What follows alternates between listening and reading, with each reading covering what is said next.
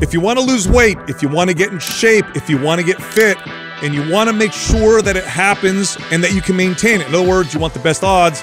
Nothing is more effective than hiring a good guide, a good coach, a good trainer. By the way, this is true for any personal growth. If you want to move in a direction where your life changes, having a mentor or a guide is your best bet. Across the board, right? Yeah, what if you know everything? Man? yeah, that's that's a big problem. It's tough. If yeah. you think you know everything, I, I, this was, I think, this was the the greatest challenge we had when we were writing programs, knowing this. oh yeah. That was knowing that, you know, we're going to go out and create these programs for the masses, but deep down knowing that no matter how good, how much time we spend on thinking of all the possibilities, the variables, we're not going to compete with that. you, You just can't. can't. you can't compete No. with. Now, thank God we have the podcast to complement the program, so most of the audience that mm-hmm. follows the programs also hears our advice, and so it's kind of like having a coach through it, but it's not the same. It's not the same as having me standing there in front of you, having a plan for us to do something today, and then I watch the way you move. I can tell the way your posture is when you mm-hmm. first walk in. I can ask you questions like, "How did you. Yep. sleep last night? How did you eat yesterday? What's going on?" And then go, "Oh, okay, I need to make a pivot." Look, it's like think back to when you were a kid, right? I mean, um, we all took the, the the the classes that were required, you know, math, English, history, whatever. And there's that one teacher, right? Everybody can think of that one teacher that just not only did they, did they stand out, but they made you love learning something that you didn't know you had a love for. That was the teacher, right? That was the the the guide. That's what a good trainer will do. A good trainer doesn't just know exercises and form and technique. They don't just know how to change those exercises or your form and technique based on how you move. They don't just know diet or how to change it based off of mm-hmm. you. They know a good coach or trainer knows how to guide you in an effective way. And that is so different from person to person that it mm-hmm. took me. I loved being a trainer. I knew I wanted to be a, a, a trainer and work in fitness at a very young age. Like it was a passion of mine. I mean, I, I'm going to be quite honest with you. It took me a decade to get good Yeah. at being a trainer because it's so nuanced. There's so much individual variance. It took me, I mean, before that, I knew exercise and diet and stuff like that. But it took me a decade to get effective at getting people to make these changes and then keep these changes for the rest of their life. So that's how that's how hard it is. But when you find someone like that, like there's no there's no program that we could create that would ever com- compete. Yeah, well, once you graduated past like just giving them a plan and educating them and kind of having that in front of them and just peering more into their behaviors and trying to really dig into that from the very beginning and find out what those buttons are that kind of motivate them or, you know, might cause a setback. Like you you, you get to understand how they interact on a daily basis, um, you just become so much more effective like immediately. It's so funny you went this direction because we just got back from the coaching con, and this was one of the things that I was expressing to so many of these great coaches and trainers that are like and so inspiring. Seeing some of them and the traction they've made already in their first couple of years of being a trainer, but like uh, me having to remind them, like, hey.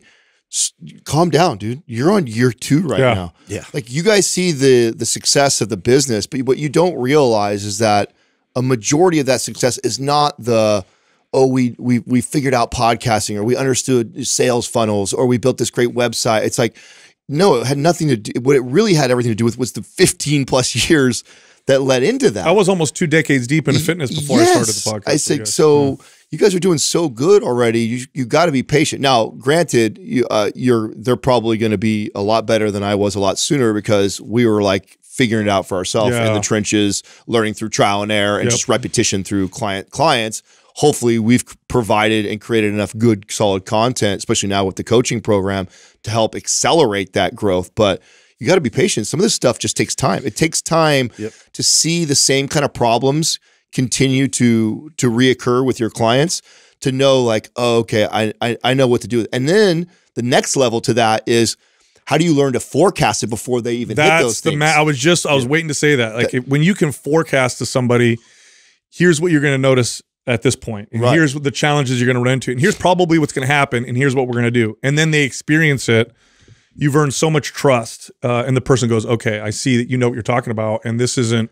and to have the confidence Sal to let that like allow the client because here's a mistake that like earlier trainers make you get all the knowledge and you know that that's the wrong way this is the right way And part of the art of being able to coach people is to when you first meet somebody, if you if you're combative and you argue with them or you tell them how wrong they are, like they're gonna put a wall up or they're gonna bounce on you. So there's this like this delicate dance that you have to do with a client of like kind of nodding your head when you know that's not gonna fucking work. Yeah. You know, you're like, okay, yeah, we can do that. Okay, Yeah, yeah, yeah. and then knowing like, okay, this now I know what to be prepared for because I want them to to relax, let their guard down, you know, build that trust with each other. I haven't earned that trust yet. So then, I'll, okay, nod my head yes, and they go, okay, well, you know, here's are some of the things that we might run into, you know, and do do do do, you start laying out all Yeah. the stuff, and then you let it unfold, and like, shit, that's exactly what you Well, said was going to happen. Well, what's your goal, right? Is your goal to, to be right, or is your goal to help get this person um, to long lasting, sustainable progress, Yes. results, have a good relationship with fitness and nutrition? If your goal is to win or to be right in terms of arguing with them, well, then, okay, go argue with them, tell them how wrong they are. But you're not going to succeed at what your real You're goal going to which- get buy-in. Yeah. no, man. I mean, I, you know, I told I tell that one story so many times because uh, I, hopefully this this woman listens to the podcast and hears how bad I feel. But I blew someone out once because I was right. I was right. She was wrong. She was she wasn't telling me the truth. Whatever. And she left. She never came back. And within a few days, I'm like, what have I done? Like, yeah, I, I got I told her the truth and she figured out that I was right and whatever. But gosh, I hope Did I turn her off? not only turn her off, I hope she might have never start tried again. Yeah. Because I made her feel so bad. And what have I done? Like, did I succeed in anything except for making my ego and my pride feel better? So yeah, if your goal is to is to get that person to figure this out, first off, it takes a while for the most part. Very rarely do you get that client who just kind of figures it out and falls into it. That's like the perfect student. Very rare. Mm-hmm. Usually it takes a while. Sometimes it takes way longer than you anticipate. I mean, I remember one guy I trained, you know, and he was consistent with me. It took us over three years to lose 30 pounds, but it wasn't the, th- he didn't lose the, the 30 pounds in three year period. He lost it in the last like four months. So it was like over two and a half years of nothing. And then it was, it finally clicked at the end. By the way, he never gained it back. I'm still friends with him, right? This is at least 10 years ago. So that's that's what you're dealing with when you're a coach or trainer. Now, if someone's listening and they're disheartened, here's a deal. Your odds without a good coach or trainer are almost 0%. That's just the data. The data will show you that when you go do this on your own, you try and figure this out, the fail rate is through the roof. Um, you know, luckily if you have like one of the reasons why we do so many podcasts every week is we know that there's people who are on this journey and we're like, okay, if we can be in their ear Right. often that is going to be at least a, a, a, what it's like to be with a coach to kind of hear these things being communicated and help keep those people moving in the right direction. But nothing will nothing will ever replace. Speaking of that, coach. Doug, you got to share the. So when I was in Utah, I had uh, Jerry with me, and so she was still working and stuff like that. And she's like, "Oh, look, I just got this great email," and she read this email to me. I want Doug to read it to you guys because it's along these lines of us coaching people through the podcast. and do you have it, Doug? Yeah, I do. Actually, it's uh, posted right here. Okay. Uh, his name is Kyle Saliba.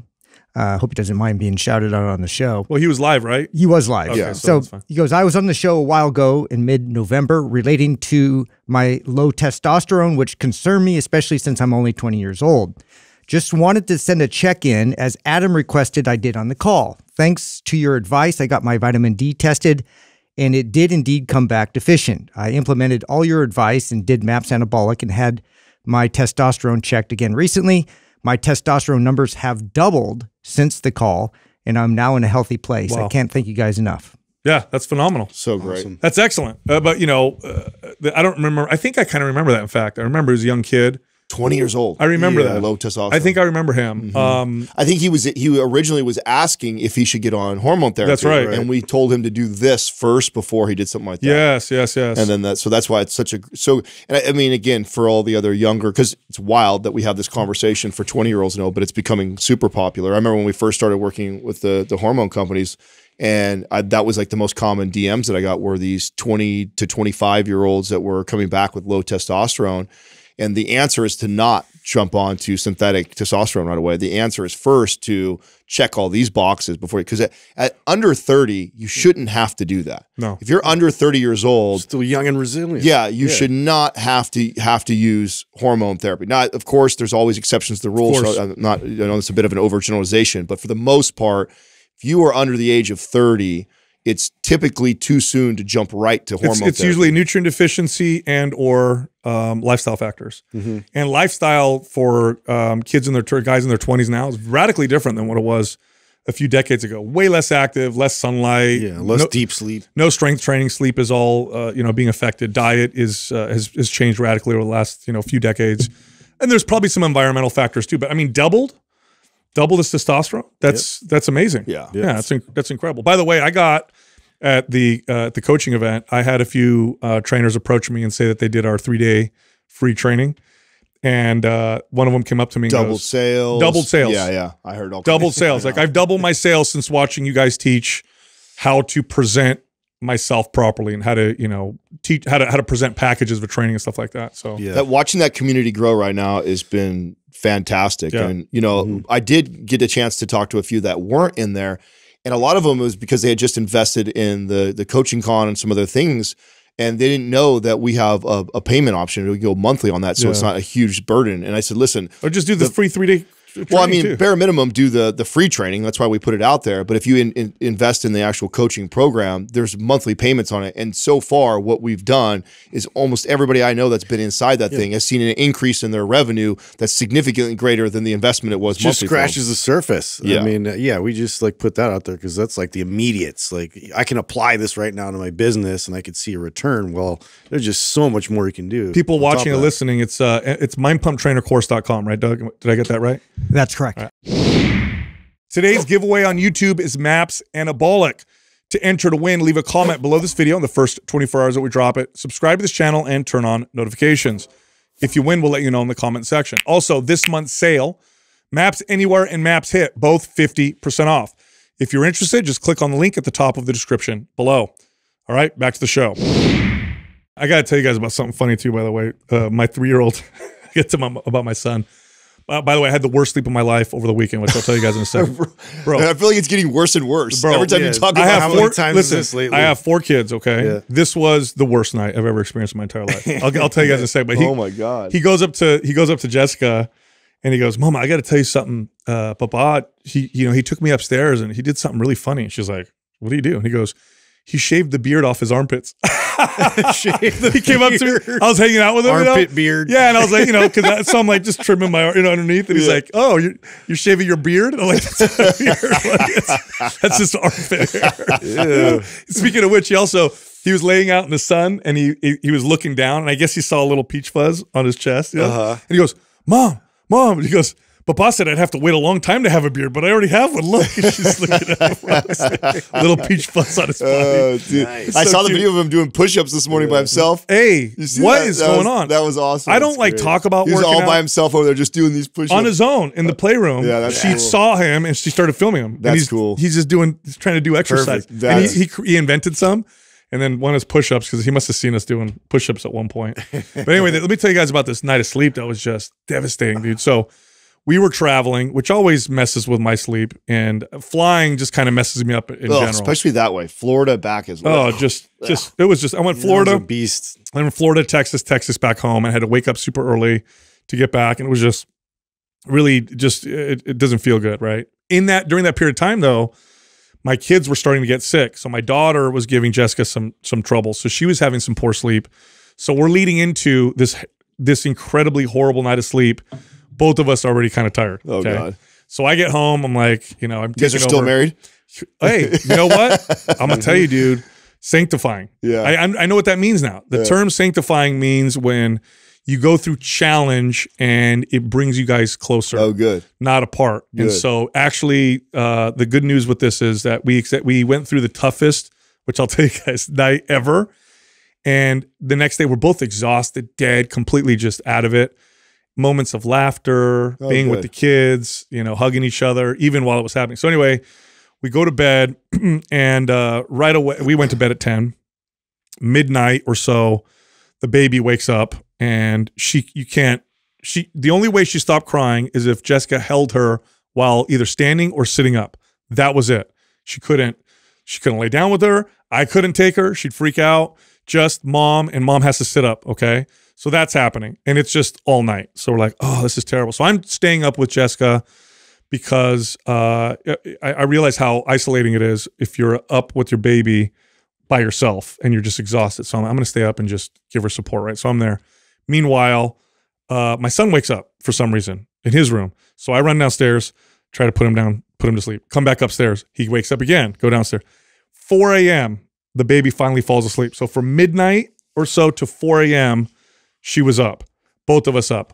And I went up and down the stairs two or three times.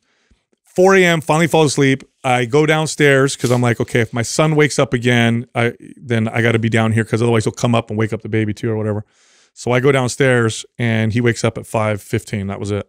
So I probably had a grand maybe three hours of sleep in one night. Oh, The whole night, just Yeah. back oh my and forth God. and totally brutal. It was it was devastating. But uh, I took some pictures um, of Jessica while she was holding the baby, so I could show her. It's really sweet. It's like you know she had we had the iPad at one point. Jessica's trying she's trying to sleep while sitting up while the Yeah. baby's you know doing her thing. And uh, but it was it was uh, it also brought us together, man, which is pretty cool. So let me ask you because you're I know you're also working on this uh, exercise relationship that you got going on too. Did you still work out? Did I still work out? did you take it off? No, no, no. I You did took it off? Yeah. oh, dude. good for you. Because No. actually, normally uh, your your psycho ass would still have worked out. No way, man. Because I feel like that's like a situation right there a where the right thing right is to let Yeah. your body rest and not do it. The addictive part is I that. I would go work out still because I say I need it. Bro, we were I was dead. There was no way. Oh, good for you. Yeah, there was well, good no for you. That's There I was- think that's I think that's growth there too. I think that's an area that Maybe, you're yeah. Or else physically unable. Let me think about it. No, I thought about it and I didn't. Yeah, yeah. Yeah, no way. Yeah, I think that's an example of that right there. Yeah, Of uh, old you still would probably go and get that training in and tell yourself that you absolutely Bro, have to. brutal. I tell you what, man, the the the, the sleep with kids. Because here's the problem. Because then I have we're on a family thread, right? And I have a family member that um, doesn't have any kids or anything. People with kids, whenever someone without kids makes a comment, there's always a part of you that your ego kind of like goes, "Shut up," you know? Because because I'm like, "Oh, it's terrible, no sleep or whatever," and then this person goes in there and goes, "Yeah, you know." Those are the worst nights. You know, and I'm like, you don't got no kids. You don't know what the hell you're talking about because when you lose sleep and you don't have kids, you always have the next day. You can always sleep in the next day. Yeah, yeah. Kids don't sleep in. Yeah, yeah, they don't sleep in. I- I actually so think- the next day is. I it, actually think that has a lot to do. I mean, mm-hmm. obviously, age plays a massive role and stuff like that too. But there is something to say about the psychological part when you were younger, single, and no kids. Of like when you know you were pushing the limits, but you knew that like I'll just I'll get it all back on Saturday. Yeah. Or tomorrow I won't get up till like, noon. you yeah, like so you out. could probably versus when you're an older guy, you're a dad now, you got four kids, and you're going, where am I going to recover this? you like you're like It's gone you already forever. yeah because you You exactly it. it's gone forever. A piece of me's gone forever. You I'm lost gonna go it. back. Yeah, I'm gonna go back a year in life. Right. no, you lost it forever, man. I was like, so I see that text, you know, that come through. oh yeah, those are the worst. And right away, I would be like, you don't know why? Because your dog kept you up one night. Yeah, I mean, until they're teenagers, then they're just they'll sleep till noon. You're like, Isn't that wow, weird too? yeah. That that's a is that what what is that? Do you know what the the, physio is there a physiological reason there why is. teenagers uh, uh, Yeah. go through this part of their life where all of a sudden you sleep? And I remember some that too. developmental thing, yeah, Brain, sure. yeah. It's a brain, of- so it's a brain thing, Yeah, not a so- muscle. the group of people that require the most sleep are teenage girls. So teenage girls actually require something like 10 hours of sleep versus uh, the average person. So teen girls, and I know because my daughter could do this, um, teen girls can sleep a lot and they need to for some reason. Mhm. It's pretty Yeah, crazy. You know who requires the least amount of sleep as you get older? Older. I know. That's it goes down. That's what I mean. The young. So if I recall seeing this chart, it's when you're er, very very young, it's super high, Right, right? The amount, naps all day. and then you kind of plateau a little bit, and then you spike at like uh, teenage years, and then it's a, a gradual drop all the way Yeah. down for the rest of your life. Yeah. Just less and less and less and less sleep Yep, is needed yep. as you get older. it's all about the brain development and pruning and all that stuff. Yeah, I've always Mhm. wondered why why it, it makes sense when you're young because your body's growing and you need you need all I this remember. Do you guys remember that when you were a teenager and you could just sleep Yes, until like yeah, noon? I could sleep Especially for the 12, 14 hours. Yeah. That's what I mean. You could go, you could grind and not sleep for a day or two doing something.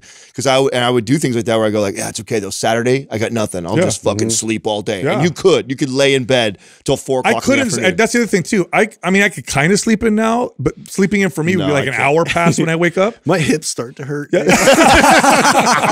like on the side, I'm like ah, it always wakes me up. Now. Hey, how So many, hey, it hold makes on. me angry. How many pillows do you use when you go to sleep now? Bro, I have like five. I swear to God, like, at least four, dude. Because I have one on the face, and I got one on I'm hugging and I got tube, you know. So you do that to at keep home my too? head I up was so my wondering acid if you do that. reflux doesn't get all crazy. we always stay in the same room, right? So I Justin, I, I was meant Is to he ask just you covered in that. pillows, Yeah, yeah. He's always got like two pillows over his face like this, and It's a like a wall, fortress A wall. He has a wall on one side. It's a two between pregnant legs. lady with one Yeah. between his legs. He's got all of his Really, like, also it's protection, you know, in case Adam you know, wakes up in the middle of the night. There's no way I'm getting in. Dude. He's, got- He ain't he's a getting in full this Ford fortress, fortress. going on there. Hey, you should get you should get one of those pregnancy pillows, bro. The big long ones. Body pillows? Uh, yeah, I've seen those. I, I don't know. That's a whole nother level right there. What do you mean? You already got four or five pillows. Just get a big ass. Once I do that, it's like, one. I mean, kick Courtney out surrendered by then. Yeah, yeah, yeah, surrendered. yeah, you're, exactly. Fully, yeah, you're fully committed to that. all in.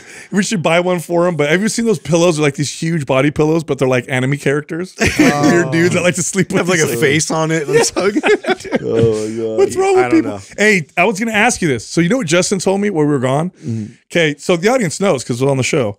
He almost cut his finger. He did cut a big ass chunk of his finger off. I did. It was a big chunk. Bro, chunk. within a few days, it's completely like a, healed. I would say like a, maybe like two weeks, but yeah. Are you on BPC right Yes. now? Yes. Oh, okay. Well, Yeah. and we did the stem cell treatment, so I Oh, don't know. I'm too. like, I, I don't know. I feel like a lizard. I'm gonna be honest. Like, maybe I'm a lizard person, and I've been like, oh, ah, radar. You didn't know about it? Yeah, because I'm one of them. Yeah, I don't know, but like seriously, and people asked me at the NCI event um, about the finger because the episode dropped, and, and it was like, I'm like, I'm I'm embarrassed. It's like all the way It's, healed. it's like a little scratch. Everyone's like, "Oh, let me see your finger." He's Oh, like, look at it. See it right there. Look, look. it's like all scar tissue. Looks like it- like, wow, you made that big of a deal over like, there, huh? layers grew back all the way to where it doesn't even have like a dent like it did before, to where I had like a chunk like out of my So, finger. so I'm on BPC tripping. also, and I cut my finger. Doug was there when I cut my finger, and it's almost completely healed. That was only a few days ago. Yeah. So I didn't notice that, but I think you're right. Oh, okay, that's right. I do remember. Yeah. uh, Well, I mean, that cutting seems to be uh, of of all the peptides, that's the one that has the most research, the most positive feedback of what it's doing. well, that's the one. Dr. Seeds said he would recommend the most. I mean, we had him every every every doctor, every person that I've talked to has said that Yeah. BPC one five seven has the most like backed, you know, research around what it's doing for people, and it's it's been insane. And every, I mean, I experienced that with my Achilles. It was scary how how it felt. It was I remember you were worried to go test it. yeah, because it was like there's the way I knew it just had felt like weeks prior Uh huh. To make that big of a leap when I had been dealing with that injury for such a long period of time was like this is kind Speaking of Speaking of weird. which, so is this okay? Just on the BPC front, like, is that what they found is the biggest impact? Is like tissue healing? Yeah. you know, yeah, Yep. okay, yeah, across the board. yeah, Yes. Yeah, blood vessel healing, tissue healing, um, and it's got some. yeah. Because this is insane. It's actually got. I never talked about this, but BPC also in animal studies has been shown to reverse the damage caused by uh, drugs that influence the dopamine the dopamine system of the brain. So they'll give Oh, to they'll give methamphetamines to to rats and mice. Which, by the way, I wonder what a mouse. wonder what a mouse That's on such meth a fun like. experiment. Yeah, what are you doing? give some drugs. But Give- and then so him it some crack causes certain structural damage. Then they give the, the the the mice or rats BPC and it heals the brain. This is good for people, by the way, who take um, stimulants for ADD or ADHD because it does Oh. impact your reward system. So there may be some. There may be something. Yeah, there may be something. I didn't know that. Anyway, speaking of peptides, so I I, I got to be careful how much I say because I don't want to say too much about this person. Otherwise, people might know who he is. But I know somebody who is a very he's like a Silicon Valley Billionaire, you said. person. Yes, Okay, I can't say that. yeah, I guess you can. No, you can. it's like whoops. and uh, he's using um, I think tirzepatide. I think it's tirzep or semaglutide. It's one of the GLP ones. okay. He's not using it for weight loss. He's using it for um, sexual addiction. He's using it for addiction. So there are people right now who are using GLP ones not for just to lose weight, but rather to help them with impulsive behaviors, which we talked about on previous episodes. Yeah. which is wild. Wow. So I just hit week four, so I'm on one month.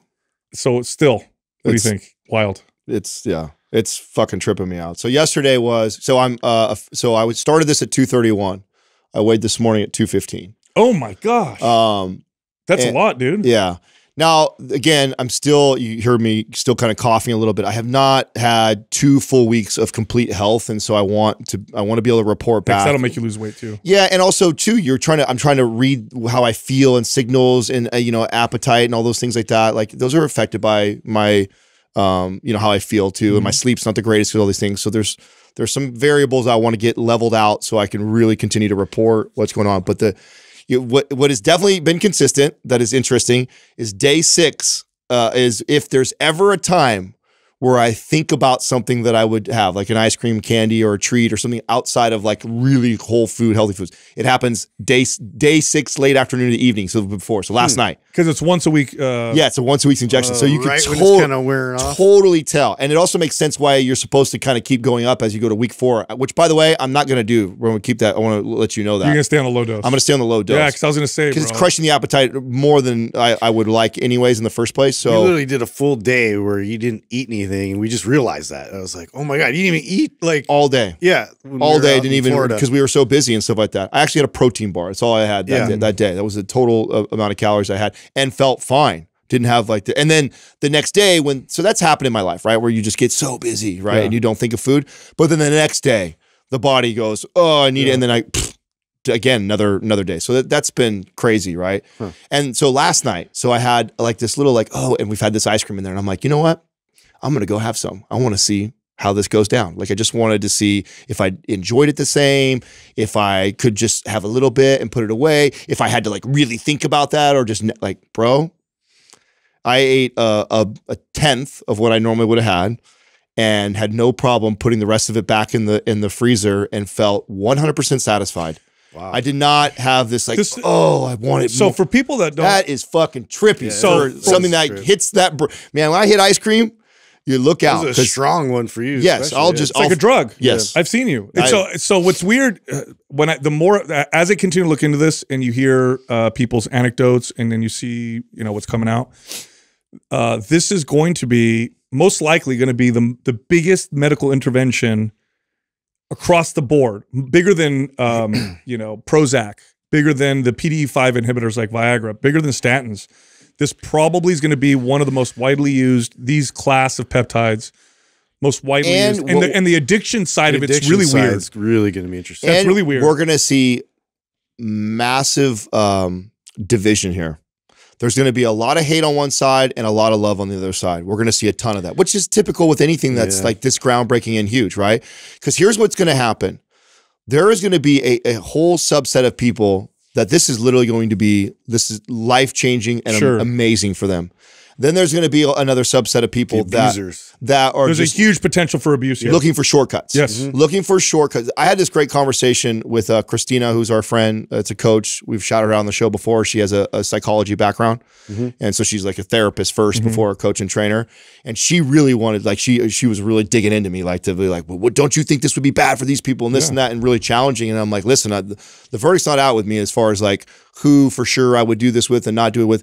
The thing that we had this, she's like, you know, one of the things I do in therapy is when people have these triggers and stuff like that, that opens up an opportunity for me to go in there to work on That's them. right. Like, what was it that triggered that? She goes, so if it eliminates that, aren't you worried that these people are? And I'm, oh, I said, you're 100% right. Like, Mm-hmm.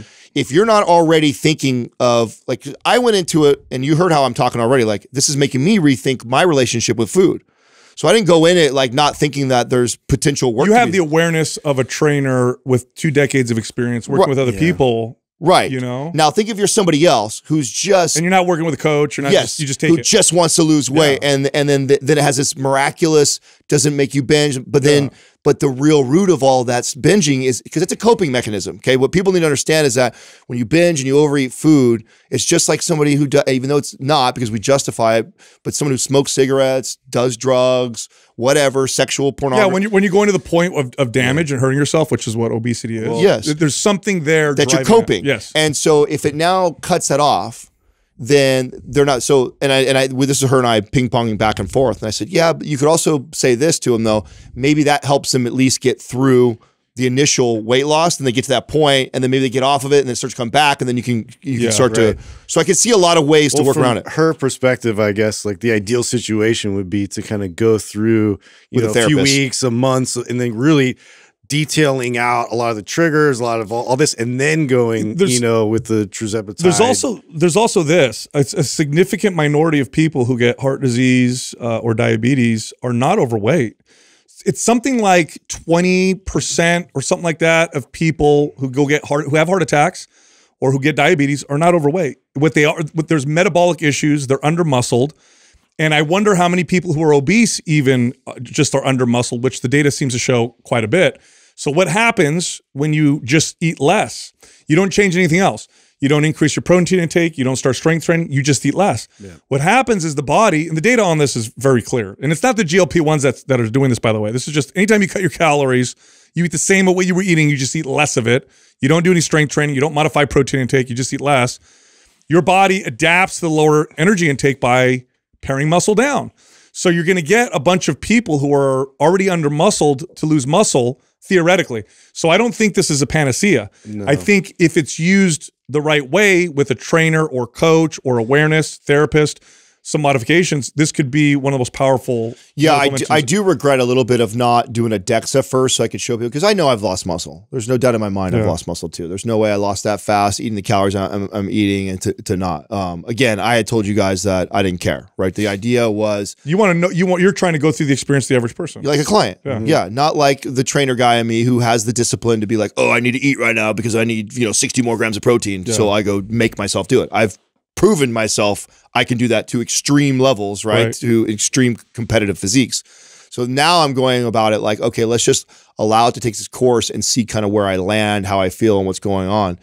But all in all, even with the fact that I've had these colds like that, I feel really good. Like my overall like inflammation on my body is like, you know, it, it makes me feel like, man, I had been in just this constant uh, state of inflammation. Of even though, even when the, the diet's good, quote unquote, I think that I was still inflamed, and my psoriasis is pointing to that too. Well, you for for years, decades, you pushed yourself, even when you weren't quote unquote trying to. You were pushing yourself to be bigger than probably what your body wants to be. I know because I'm the same same way. yeah, and that the, that consumption uh, probably caused some inflammation. it has to. That's the only thing Well, your skin, I was telling you out there, your skin looks better than I've ever seen. He doesn't. He looks like he's younger. I know. You It's- know. I mean, I feel good too. The I do feel low energy though, and that's obviously because of all these calories, and also I'm recovering from being sick. So this is why I want to put two weeks together because I haven't had a great workout.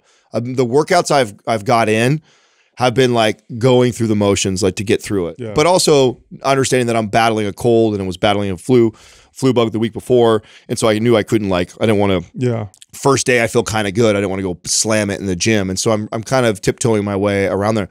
But all- in all, I mean, my my body feels really good. I've never seen so, and because it's so effective, the potential for abuse is through the roof. I could see first off competitors abusing the hell out of this. I could see people who with food issues who just want to restrict use the hell out of this to make it easier. That's the abuse potential there. well, so I was sharing this with Jerry and Katrina, uh, and not to get too far ahead on on again get over my skis on this yet until I see everything. But I would, I am my plan is no matter what because I see the the, the power of it and and knowing is that I'll keep a bottle of it always on hand, and I could see in times where I'm going to do something where I know I'm going to be challenged with overeating or eating out or bad making bad is using it Why just not? and then and then because it, it's not a fast and effective. It's not like it needs weeks to build You, up. like, I mean, I ramp up. felt within day two or three, like I felt a difference. So I can imagine like I'm going on a trip for like a week, and I'm like, oh, I'm just gonna take it for this week. To you know, I'd rather come back low calorie, not ate very much, than to over ate all kinds of shit. when you see something this potentially powerful, you always see uh, market uh, changes in other products and services that this affects. The the processed food industry is freaking out. I talked I- about this oh, I already. bet. Yeah, yeah, yeah. No, no, they're I get, I get why. they're now, too. actually meeting with each other, trying to figure out how are we going to deal with this if this becomes widespread and mainstream. And there's even speculation. Ready for this?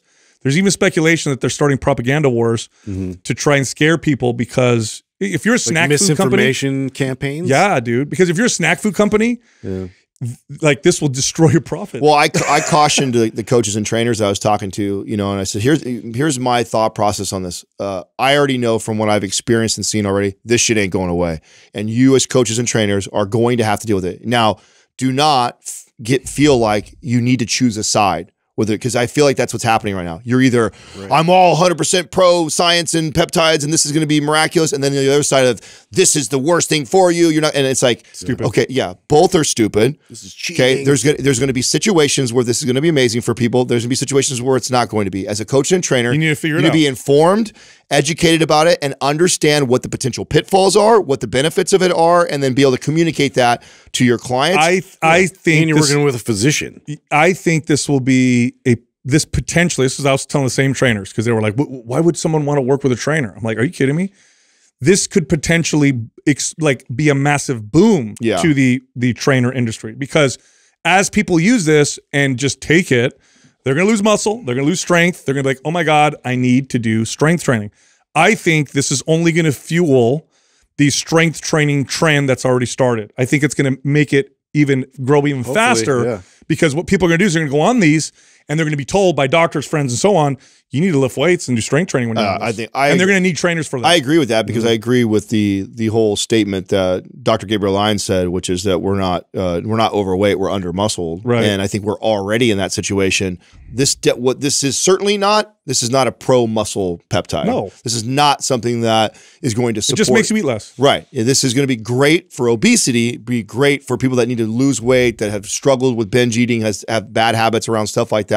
That's going to be, but then then the next challenge that they're going to have after that Mm-hmm. is their doctor's going to be like, hey, we you need more muscle. You don't have enough muscle. And so I agree that's going to point back to a lot of trainers. So trainers and coaches that are going through it right now, you know, continue to learn, continue to uh, to to get your uh, And know how to work with it. yeah, and work with it instead of feeling like you need to choose a side of it's all good or it's all bad. Totally. It's going to be somewhere in the middle. Totally. And I think people using them are more likely to hire a trainer than people not using them. Just like uh, men on TRT are more likely to go do strength training than people not, whatever. I think it's going to only im- uh, make the industry grow.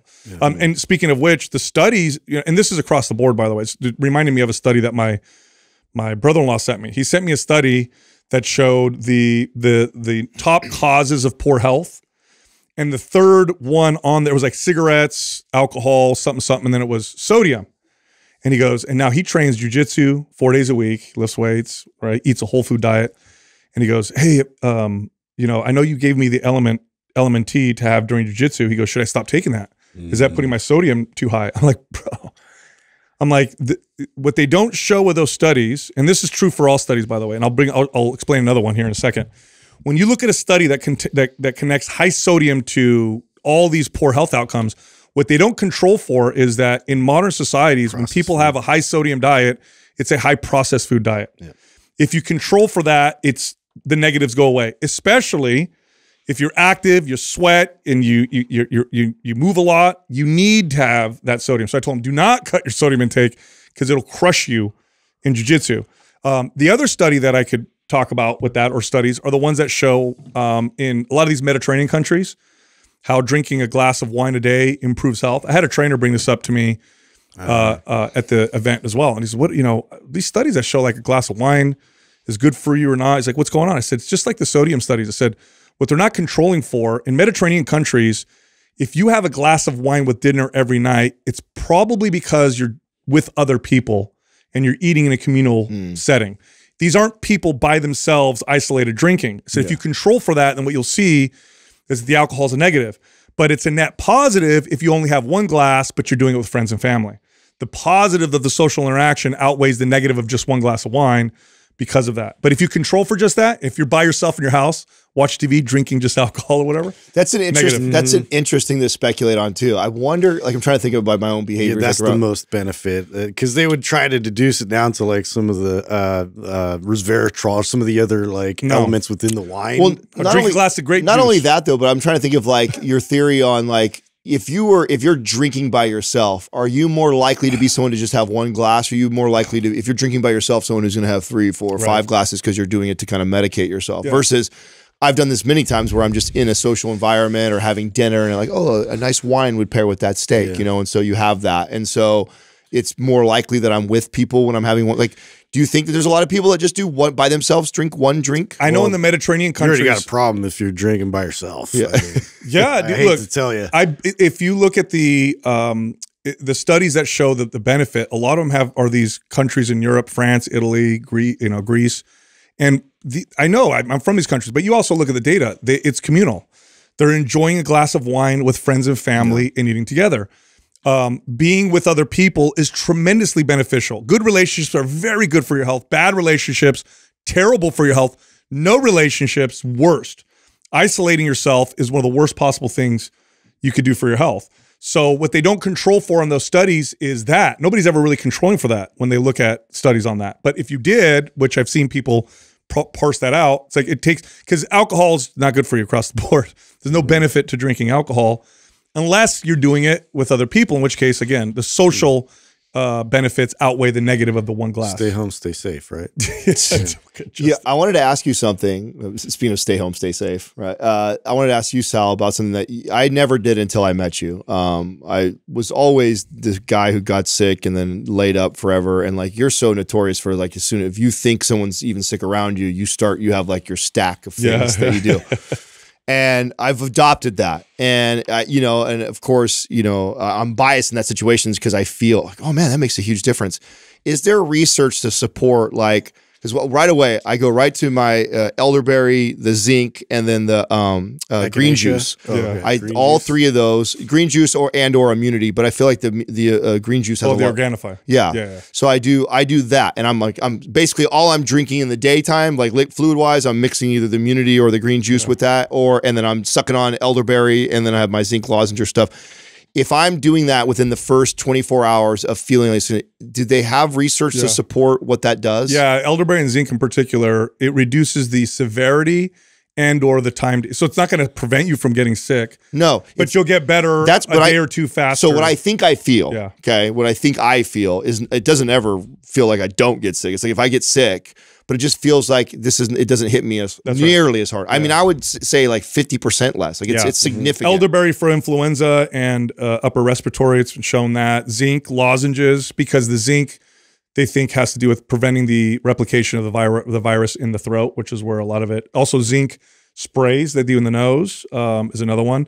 So it's yeah, but it doesn't make you. And it then doesn't what cure you. What what what also about like the like water and fluid and drinking lots of it because I feel like that's another and this is also part of why I do the immunity and the green juice because it keeps me drinking Oh. like oh I need to drink this Yeah. and I feel like when I'm drinking and peeing I get through the the cold faster. I don't know if it's so. I don't know if it's the like the miraculous benefits of drinking a lot of water, or it's when people are sick, they tend to under drink water, and so that they, they also get the compounding effects of not Oh, of dehydration. Yes. Oh, So you know, okay, you guys have kids. You're you know probably this. right. When you have your kids, what does the doctor always say when your kid's sick? Make sure they drink lots of fluids. Yeah. The reason being, your kid will not reach for water like they normally do when they're sick, and you can Right. see it in their lips sometimes, and so you have to like get them to drink because they're, they're not feeling good. They don't want to get up and drink water. Is it harder for their body to regulate temperature and all that? Like in terms of like, uh, well, because obviously, like it's beneficial if if that happens and you get like uh, to the point where you get a fever because you're fighting off. Um, but at the same time, too, like if you're not properly hydrated, I'm sure Dehydration throw everything off. Yeah, body t- re- re- body regulation, temperature regulation goes off. So I wonder. I, so I'm wondering, and then that makes me wonder if it's the the actual water that I'm feeling the the positive benefits, or it's the green juice and all the, the vitamins and minerals that I'm getting inside there. So vitamin C, so immunity is high in vitamin C, but there's some other herbs in there that that have been used historically for um, for viruses. Vitamin C is mixed, so there's some data to show high doses of vitamin C can reduce the severity of colds. Other data showing maybe not so much. Um, it's tough, but you know the stuff like like uh, Ayurvedic medicine, Chinese medicine. Then there's like um, you know old wives' tales, I'll call it, but these are things that people have used for hundreds of years there's benefit and then oftentimes it takes us a long time to have studies to show that oh that's why it works like a good example is honey for coughs uh, i remember you know going to the doctor and saying my this is when my oldest was a kid so this is a long time ago he has a cough should i give him some honey and the doctor's like no that's an old wives tale and i remember i kept repeating that and then a study comes out by the way honey has been used for coughs forever Yeah. hundreds of years And with high performing singers. yeah, yeah, forever. Yeah. They find that there's a compound in honey that actually reduces the cough reflex. It somehow it affects the brain in, in, in such a way. So it, they were right. They were right. So it just goes to show, it's like, um, you know, anecdote that goes for 100 years, 200 years, thousands of years. Just because we don't have a double blind placebo controlled study doesn't mean we should discredit an entire culture that says if you take this for this, then it tends to help. Because that's mm-hmm. a lot of anecdote. It's not a study, but it's been around. If it's lasted for that many years, then it's probably got something. I'm so annoyed with the community of people that like latch onto a single study so hard, and it's like becomes Yeah. like dogma. Yeah. I saw that one doctor again that that did a, a viral post of of a clip of you were talking about a study. God, like, what a That guy's so annoying. It, it's what's well, what's annoying. I, I you know what I get. More, I, I don't know if I get more upset at him doing dumb stuff like that because whatever. I know what he's trying to do. He's trying to build his Yeah, business. we know what he's trying to do. Yeah, Wasn't he the guy that got paid by the, Yes, the beverage yes, uh, yes, industry yes, yes. to talk about? and people things? think that he's like doing the Lord's work because he's out there busting all these studies. and No, doing, so a- it's like, dude, there's it, there's way more nuance than than this isolated study. It's not, and it's like everyone thinks it's like this gotcha moment. Like, ha, finally, Actually, we no, got he- Sal. We no, got but Sal. know on- what? The context wasn't even there. So what we've always said, by the way, in- if if he did literally thirty minutes of research, he would have seen for himself. By the way, anybody who does social media posts wearing a stethoscope is already stupid. lab coat or Come on, anything. dude. Like, get out of here. Yeah, anyway. I mean, in our world, that's the same thing. If you doing every video Every with no, post with no, with no shirt, shirt on. no shirt yeah, on. same thing. You get the no shirt or the lab coat. I mean, that's your go-to. Come on. Yeah. But we've said this. For, look, the data on protein intake from vegan sources and animal sources is clear. So I'll have him watch this so he could try reposting this. The data shows, and he showed this in the study he quoted, when protein intake is high enough, it doesn't matter the source. But if it's not that high, and what he quoted was 1.6 grams per kilogram of body weight, which is right around 0.6 to 0.8 grams per pound of body weight, which is what we quote, or when we round it up to make it easy, because we're trainers. When we talk to the average person, exactly. it's much more effective to be to give them something easy to remember than it is To target it. 0.657, whatever. One gram per pound of body weight always kind of gets people to hit the mark. Okay. But if you're below that 1.6, to use the data, grams of protein per kilogram of body weight, which is 2.2 pounds, when you go below that, then it matters. Then animal sources are superior for muscle building, recovery, and performance. So unless you're eating a high protein diet, the protein sources matter. If your protein intake is high, then you have enough amino acids, uh, and it may, it doesn't really make a difference. Now, here's what what Dr. Sanctimonious doesn't understand is we trained everyday average people. How many clients did you ever train They hit over their protein. that hit those high protein intake on their own on their own? one percent. Never. Barely. that, Never. Yeah. So that's why we say, you know, look, if you're going to throw a shake in there, it's still not going to get you that limit that we like, but why don't you make it way it's better than than this or even better, eat meat. It's going to be better than the vegan sources. So that's that's that's all. But he took one clip and then I know. trying to make himself I but that, and, you know, and then the amount of people that come to his defense and just and then think that we don't know what we're talking about. It's like, dude, these this is crazy. Internet's ridiculous, dude. It's, Internet it's is- wild. It's breeding dumber people, is Yeah. what it's doing. We have more information, more knowledge out there, but it's literally breeding more people because then people just blindly follow because it's like, oh, he's an MD. What are you, a tattooed meathead? What do you know? you can get whatever you want. Okay, guy. it's- Okay. yeah. really? Do people say that? oh yeah, dude. Tattooed I- meathead? Yeah, yeah. I engaged for a minute, then I'm like, I gotta get out of here. I gotta, No yeah, way, yeah, yeah, I gotta get out of here. So, I, you know, it's a lot of positives happen it. though too, man. Again, this morning I'm working out in a commercial gym, and the amount of people lifting weights properly and following, you know, doing good exercises is so so much better than it used to be. I can't even I can't even believe it. Hmm. Like all the squat racks were taken, people are deadlifting, women are bench pressing properly, you know, arch back and you know, grounded feet and overhead pressing. I'm watching people do box squats properly.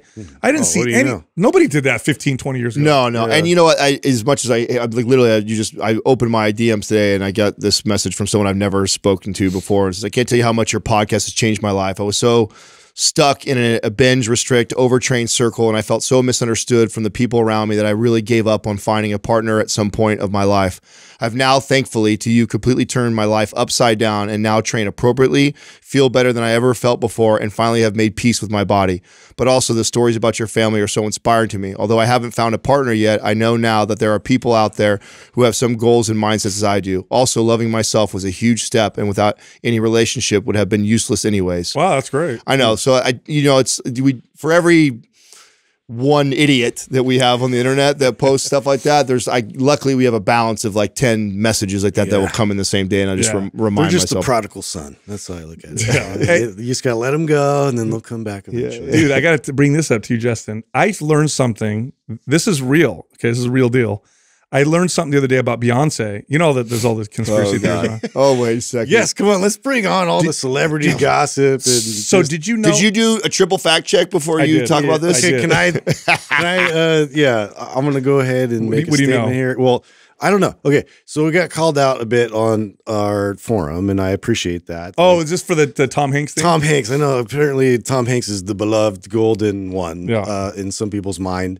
'Cause he's a Uh, good actor. So why. was yeah, Bill he's great. Cosby, I love? I love his movies, you Yeah, know, yeah. but I'm not the guy that's like gonna, you know, defend any of these characters with their personal lives. I don't know anything about them, Right. right? And and two, um, it- so I think there was like some article and like that uh, was satire that that was promoted. And I, I mentioned uh, Mark Oh, Wahlberg Not uh, wanting to work with him. yeah, not wanting to work with him. So I just kind of, res- you know, regurgitated that and it wasn't completely accurate. It was satire, right? So I acknowledge that you got me. But at the same time, like the, the Epstein thing, that was weird that they started to try to kind of also tie that in is like, that was also like fact checked. Was it fact checked? Because they don't even have an official list of the, the Epstein list out there. And I've dug, trust me. And um, There's a it- lot of stuff on, on conspiracy internet land about Tom Hanks being part of all that. Exactly. There's a whole there's there's like thousands and thousands of people just like incessantly like commenting about. So I'm not real quick to defend him. I'm just going to put that out there. So if you want to do that, you know, that's up to you when the information really comes out. But you know, for right now, you know, I'll admit I, I was wrong. It was a satire piece. You got me. Well, it's, it's it's harder these days to kind of sift through all that for sure. Well, so this is not satire. So Okay. Beyonce's drummer put a restraining order on Beyonce. This is real. Do you know why? This was a while a dude ago. drummer or a girl drummer? No, the female drummer. Oh, female this drummer. happened, and I looked it up. I'm like, is this real? So this was in 2018. Because I'm like, can't be real. I looked it up. Her ex drummer filed a restraining order against Beyonce. You ready for this? Do you Hmm. want to know why? Why? Extreme witchcraft. Shut your face. Yes, dude, that's that Beyonce. Shut your face. That. Beyonce practiced extreme witchcraft, was putting curses on people, on her, magic spells of sexual molestation to harass her. That she's like, I just need a restraining order on her, or whatever. Yeah. see now stuff like that, and you're just like, okay, you know, that's that can't be that can't be true. Uh, you know? Well, I mean, But she put a restraining order on her for it. yeah, that's pretty well. wild. The Lizzo stuff too, right? Like she had all these like dancers coming out about all that, and that that kind of came out and was you know inflammatory towards her career, and then now she comes out later like I'd quit. You know, like, uh, like all like you know, I, I'm just gonna be, I'm just gonna stop. you Yeah, know? I actually, you know, the the forum member that that called out the Tom Hanks. First of all, I, I was tagged in there, so I was like, "Did I say that? I don't remember saying that." And you came forward and said that was you who said Yeah, that. it was I didn't- me. I didn't even remember it. I did. I did appreciate the conversation and dialogue I had with her. She didn't. I. I, Yeah. I don't mind when people ask and challenge. I love that. Whatever. Exactly. That's great. And she was, but she and I just was straightforward. Like, no, I. I don't think that.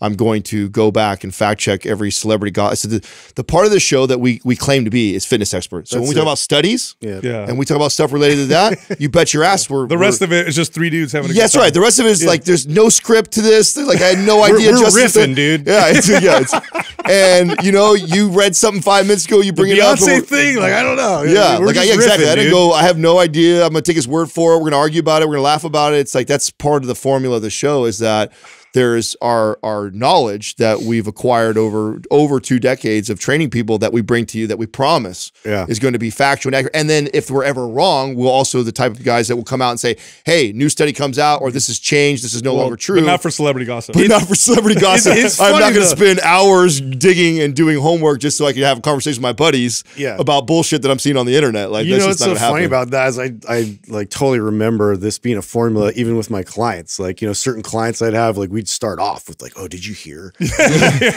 Beyonce you know and so you kind of get into it and it's funny too. I have two other like celebrities I'm going to bring up some stuff. So I did not know that Fred Durst okay.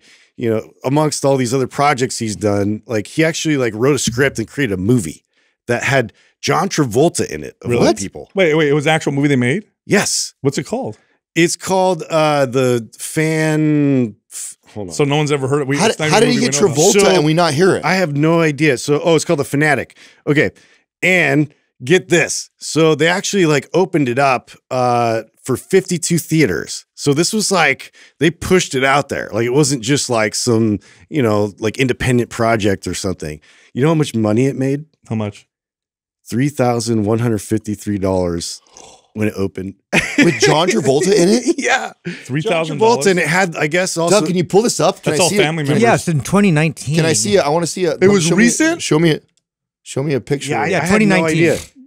and, and so he plays like this autistic, um, like psycho fan that's like like basically stalking uh, a celebrity. Shut up. Yeah, I I want to watch it. it. I want to watch it. I know. I kind of want to watch it. I want to watch it. the guy that was breaking it down and i got caught like in this article uh, that was talking about it it was saying that it's like super quotable too it's like a, a horrendously like great movie to like you know sometimes you watch bad movies Yeah, yeah. so you can kind of Sometimes bad movies are cult classics. Yeah. they're so bad. Well, you can make a you can make a case like Napoleon Dynamite was like that. Yeah. it's just So so, weird, rid- yeah. yeah, So ridiculous offbeat, and stupid, yeah. but it's so good because of that because it has a million one liners in it because Yeah. it's so silly, right? So yeah so i was super curious What? about that I oh, never I'm still gonna it. watch this. I Yeah. want to see. that's wild. Hey, So what, that's our homework what, what about Diddy? You haven't brought up Diddy yet. Do you guys? Do you guys like? Uh, do we want to talk about that? that's so dark dude Like, hey, like, I don't know, hey, dude. did you? Hey, you, Bro, talk about not having any facts to fact check right now because that shit is like in the we're in the throes of that Yeah. right now. All I know is I like- he's heard- not arrested like so I far. heard Yeah, leaked okay. audio. I heard leaked audio that his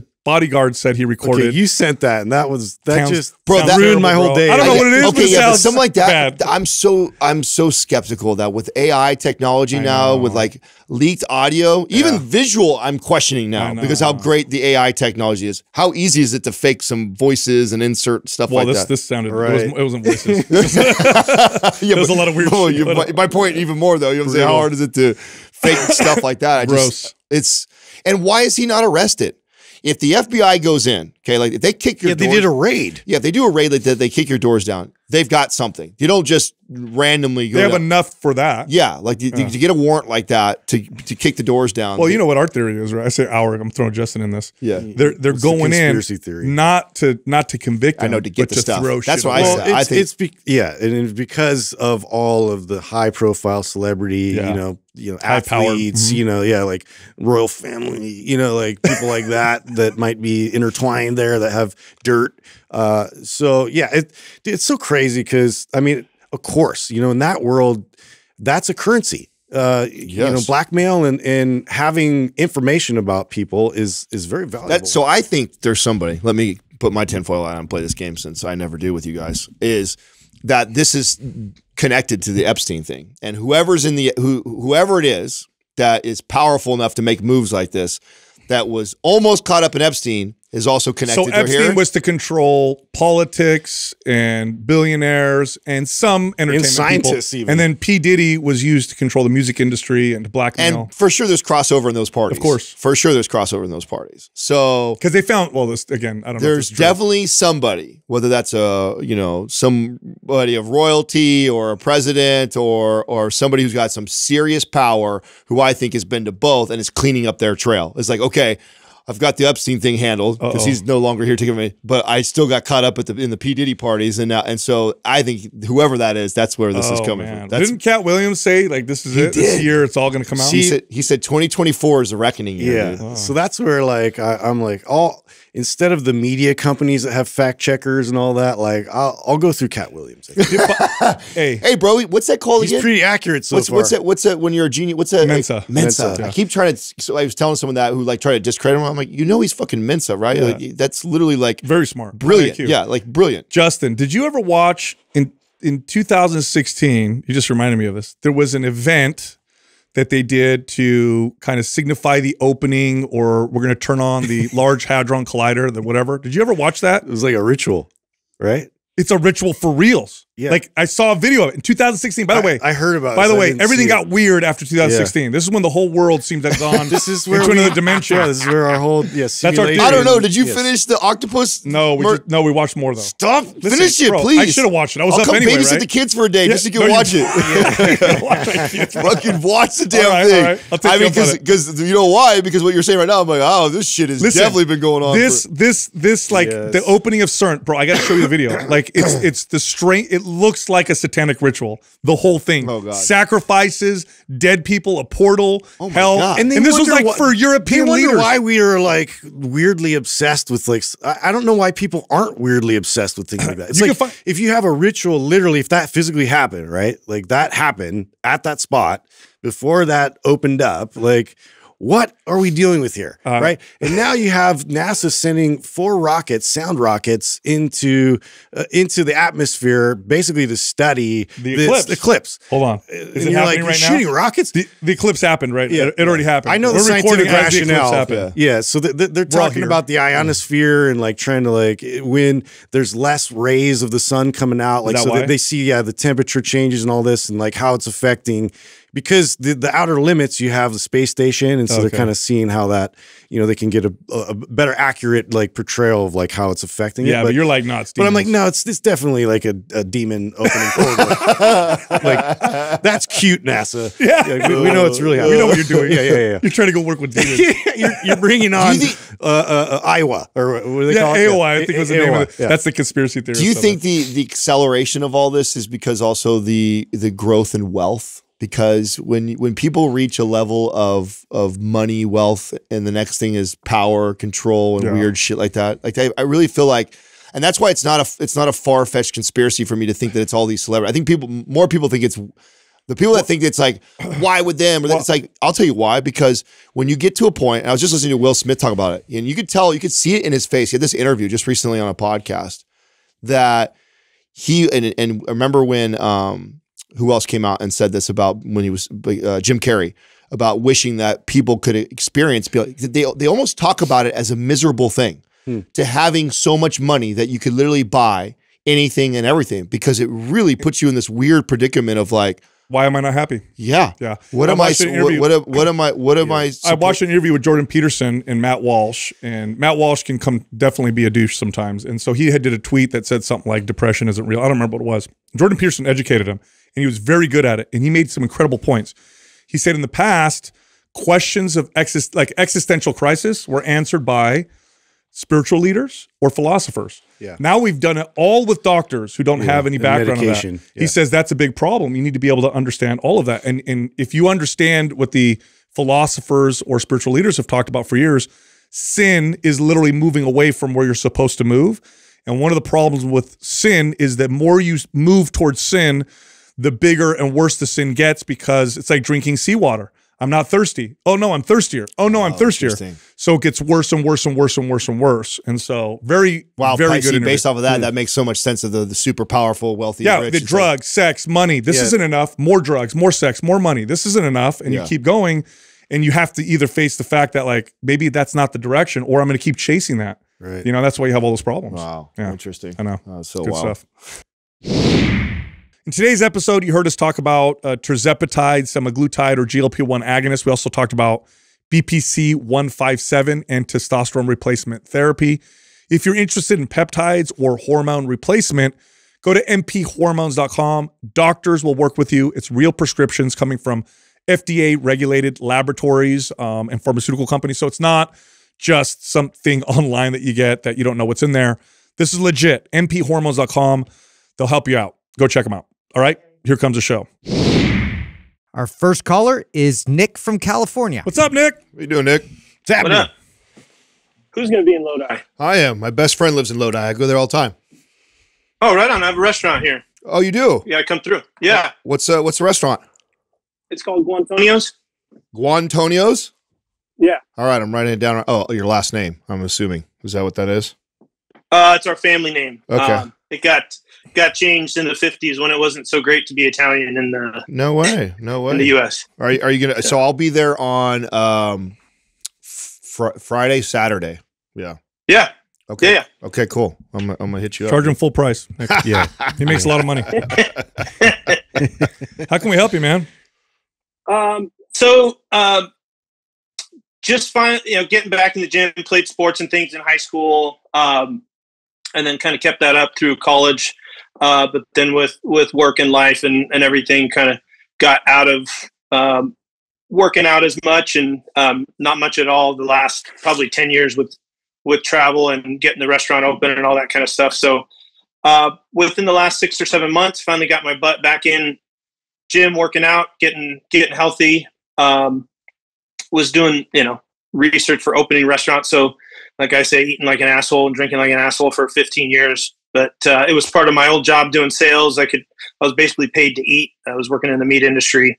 Um, so anyway, got got uh, got back in the gym with the help of a good buddy of mine. Um, and within the last six months, lost 30 pounds uh, while putting on muscle. Um, you know, listen to you guys regularly and, and hearing the same info. So I, I, uh, you know, protein has been, you know, hitting those protein targets have been a big part of helping me kind of clean up my food and um, a lot of egg whites and chicken breasts and veggies and quinoa. So um, did it the right way, not not not fat, you know, not not eating, um, but also putting on muscle. So um, so got some blood work done with uh, you know my trainer kind of suggesting, and then um, uh, coach mentor of mine uh, that I've been working with um, kind of suggesting getting some blood work done just to kind of see where we're at. Got some family history with with heart disease and all that kind of stuff. So uh, got that back, and they uh, there's some some things other things on there, but there the, the my main question is about the the TRT and then enclopamine or however you pronounce that. Um, my and my they got my testosterone in the 400s. My trainer that I work with, so I do CrossFit, um, and then I added in some strength training on top of that. But uh, he's he's he seems to think in that 400 range is is fine, and and you know look at it again in you know three to six months and see where we're at. Um, of course, the company's suggesting some some either TRT or the enclopamine, and then um, my coach trainer kind of uh, not trainer but coach mentor suggesting you know one of the above. And I know you guys have talked about Shilajit in the past um, as a natural like kind of testosterone enhancer, and as I wrote in my email, um, you know I do see some fatigue and some you know I'm a father of four and being a chef and owning a restaurant and um, different hours, you know, trying to keep my my sleep pattern as close as possible, but just sometimes it's just not possible. Um, you know, I do see all those things um, that you, you hear about with with low T. So I just thought, you know, get an unbiased, educated opinion from you guys, and appreciate you taking my call and email. Damn, bro, you yeah. are a father of four, a chef, yeah, restaurant so owner, and CrossFit guy. Yeah. Uh, you got a lot, dude. Yeah, I think you're. you can you can you probably can positively affect your natural testosterone by backing off quite effectively without doing anything mm -hmm. uh, in terms of uh, medical intervention. So, enclomiphene is what you're referring to. This is a uh, it's it's it's in the old days they would use something called clomiphene. This is a selective estrogen receptor modulator. By blocking the estrogen receptor, it actually causes the body to produce more testosterone. So it is one medical intervention way of raising testosterone naturally.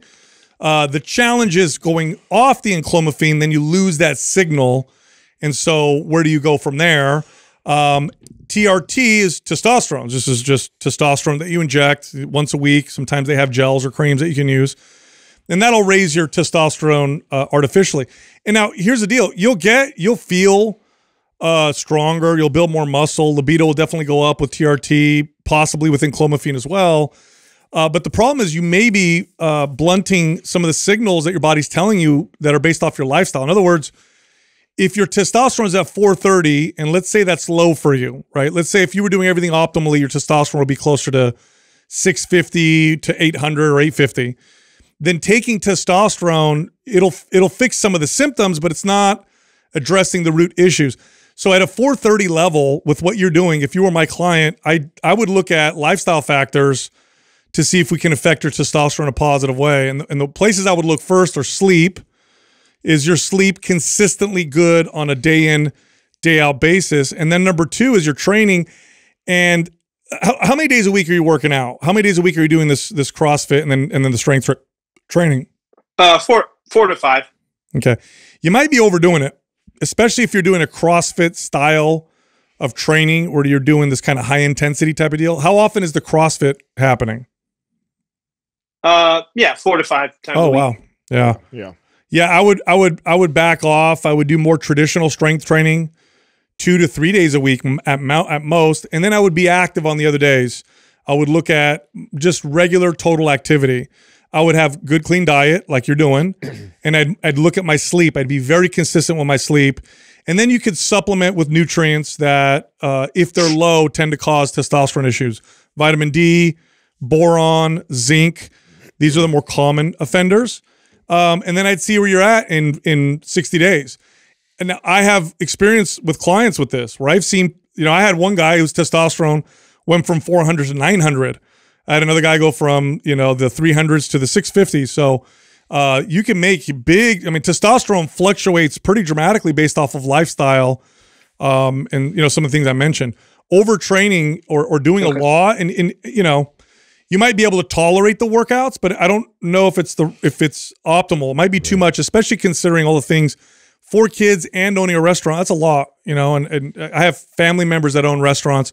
That's one of the more stressful things to do, one of the more difficult entrepreneurial uh, processes. So that's where I would go first. Yeah, I would love to see if Okay. if you let me, I would I would really prefer to see you on like a MAPS anabolic routine. Totally. You know, two to three times a week, full body type of routine. Uh, prioritize the sleep. A lot of my my training would be around, you know, trying to relieve the the stress. And I, and and sometimes too, when you have a lot, you have four kids, you have all this going on. Sometimes we think that the feeling that we get from kind of beating ourselves up in the workout is this sense of relief, but it, it really isn't. I mean, it's just you're you're, you're Cortisol feels good. yeah, it feel it feels temporarily good, but it's not doing yourself a favor. Like you'd be better off scaling back on the intensity. And I do think that you're Yeah.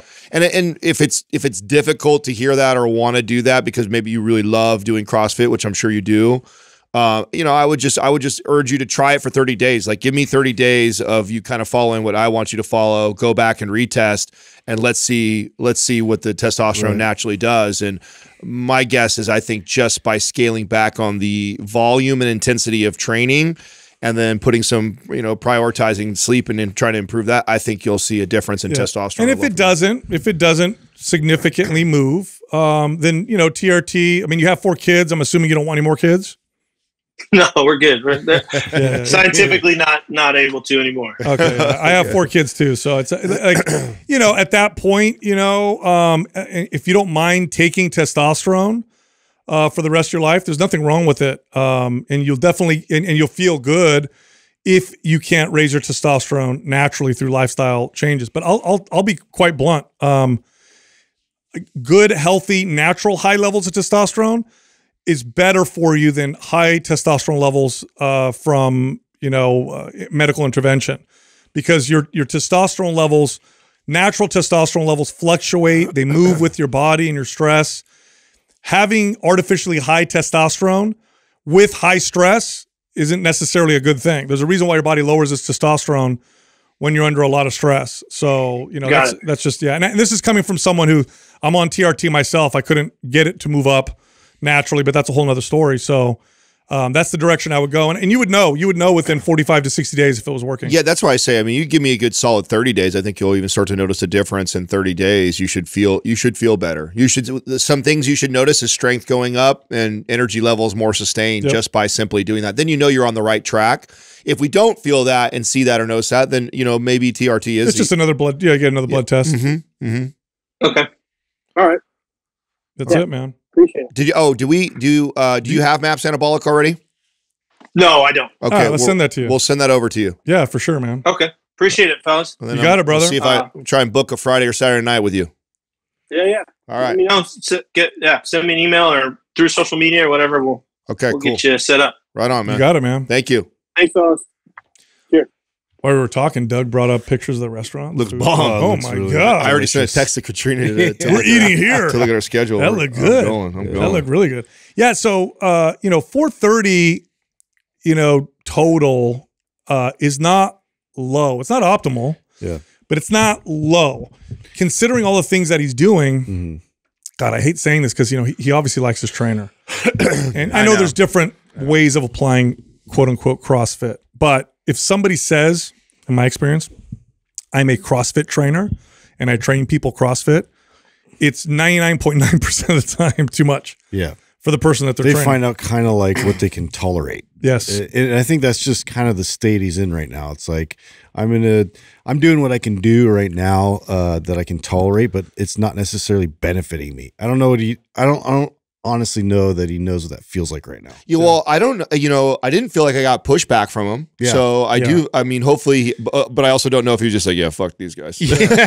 I mean he might have That a really too. good- I mean, yeah. he might have a great. I get a lot of that trainer. from CrossFit guys. Yeah, and uh, it's just you know when CrossFit the the brand okay of CrossFit style training is really a pro. It's really only appropriate for people who compete in CrossFit. You know, it's funny. For By a the, person getting in better shape, it's not an appropriate way to work out. by the it's way, it's a sport. yeah, I I hadn't shared this with you guys, but he was rocking the Creatures of Habit hat, which you know Mike is a big CrossFit guy, Yeah. Oh, and was actually messaging me last week that he's gonna he needs to start switching his training because Yeah, it's dude. taking it's taking a toll on his on his body. It's it's it's. Yeah, I have it's a love hate, and I have a love hate relationship with them. They did some things in the fitness industry that everybody else failed to do. They got people to squat and deadlift, and barbells became cool. They got women to lift weights better than anybody else, and that's true. They also did some stupid shit like beat the crap out of people and take everyday people and say this is how you need to work out. And we're going to do circuits with Olympic lifting and just insane, not great programming. Yeah. So People just need to know there's other options out there. Yeah, yeah. Thankfully. Our next caller is Aline from Toronto. Aline, how can we help you? Hi. Oh my God, guys. So exciting. Uh, thank you so much for all the information that you guys put out and everything that you do. Um, and also, shout out to my sister, Anna. She's the one that introduced me to you guys. Um, just as a background, I've been lifting consistently for about five years. Kind of started off doing all the wrong things. I would run a 5K before every lift. Um, and I just wasn't eating enough, but slowly started learning more about, you know, the importance of protein, importance of sleep, um, and just eating enough uh, to, you know, build muscle. I recently bought Maps Anabolic. I've run it once already. Um, now on my second time running it through, and it's been amazing. I haven't seen, like, I, w- I hadn't seen uh, upper body gains like that until this program, and it's been incredible. Uh, my question for you is I love running and I am inspired by these quote unquote hybrid athletes um, online, like Nick Bare and Lucy Davis, who both run and weightlift. Um, and I wanted to implement some sort of system to allow me to continue to build muscle, but also continue to run. Um, so yeah, I was just wondering if you guys had any suggestions on like what kind of programs to follow when I'm kind of training for races, um, and what kind of programs to to to use when I'm like really trying to build. Yeah, that's Maps, great. Maps cardio. Are, are you are you so you like running because you like running? It's not for physique goals. It's because you enjoy the run itself. No, yes, I do enjoy running. You know, the best way to do this is to train in seasons. So Yeah. when you have a run coming up, off season for mhm, sure. you train for the run and you follow a program like Adam said it, like Maps Cardio, which would be more appropriate. And then when you're out of that season of running, you would do something more like a Maps Anabolic or a Maps Symmetry. Strong or Maps Symmetry. And you would just do enough, just enough running just to keep yourself, you know, from losing the ability to run. And so you would just train in cycles and seasons. That's the best way to do it if you want to kind of be able to do both. Yeah. Doing it all at once, not a good idea. yeah, off season twice a week on your off days of training would be fine. So like running an anabolic and I think putting in a run two times a week would be enough to sustain like definitely the ability to go out and run like you want to.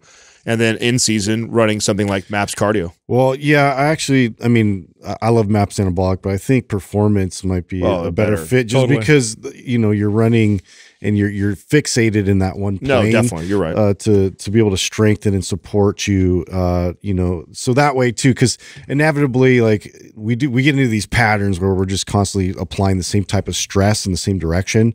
So to kind of disperse that, make sure that you have, um, you know, good support around your joints would be good. that Yeah. That would be the number one thing that I would caution you about the you know mm-hmm. going after like the hybrid athlete thing and seeing these weightlifting and runners and stuff like that. Like, and I don't know, I, like Nick's pretty cool. Like I know we know him really well and he's a good dude.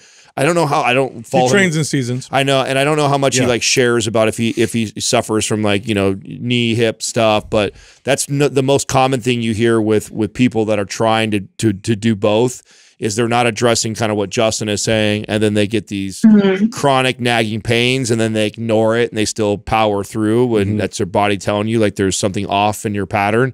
Because when you do something like that, you know repetitively for miles and miles like it, it's, it doesn't take much of being off your heel strikes just a little off and that just compounds over time and so just be aware of that stuff be aware of it and since you're not you're not competing you know trying to be hit prs or do anything crazy uh, listen to your body and when you hear it talking to you like that go back and address it and i agree maps performance is probably Yeah, the best The, program. the mentality is like this: is um, I'm focusing more. on I'm focusing on building muscle in this season. So more of my training is geared in that way, and less of it is geared towards endurance or running. Now I'm in another season. Now I want to focus more on running. So now I'm going to do more of my training in running mm-hmm. and less of it with strength training and be very judicious with this. The the the trap is I'm going to do strength training and focus on running. I'm or I'm in this mm-hmm. season of running. Now I want to build muscle, but I want to lose what I just got with the running season. So now I'm just going to do all of it. This is where people tend to screw themselves up. But if you train in seasons and get used to how they feel, they feel very different. So what you'll notice with the strength training season, tighter body, things feel solid. You got a nice sculpt, good good metabolism and appetite. That's what that feels like. The training feels different. Now when I'm training for the running, okay, body softens a little bit, but I have the endurance, I have the stamina, I get those endorphins when I'm running. You know what that feels like? It's very seasonal. But if you try to do it all at once, this is where people tend to really screw up is they don't want to they don't want to give uh, any of the other to pursue the other one. Right. Yeah. I feel like that's definitely where I've kind of screwed up in the past. And I was actually going to ask about performance because it, it seems like a, a good program for me to kind of uh, do as well. So would I be doing that one kind of during the weightlifting season?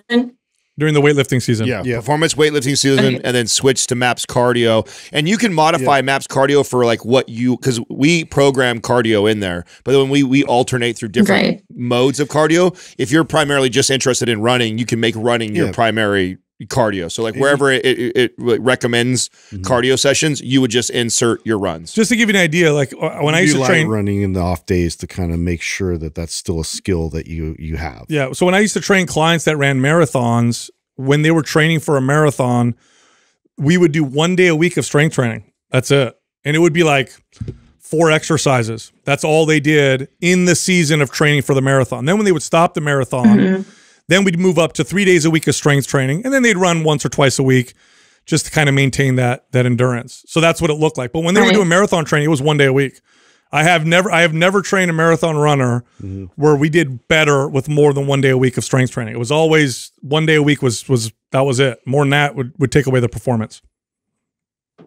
Right. Awesome. Well, thank you so much. And before I go, I just wanted to say, like, my sister and I have been trying to get our parents to to get into like weightlifting. Uh, they're kind of resistant to it, but we were able to get my mom to get started on anabolic. And yeah. um, yeah, just thank you so much because they're very important people in my life, and we know all about how muscle is important for longevity. So um, it was only through you guys that we're able to get to them. So thank you. That's awesome. Oh, That's awesome. right By the way, do you have performance? If you don't, we'll send that to you. no, I don't have performance. That'd Okay. be amazing. You got it. Awesome. Thank you so much, guys. really you. appreciate it. Thanks.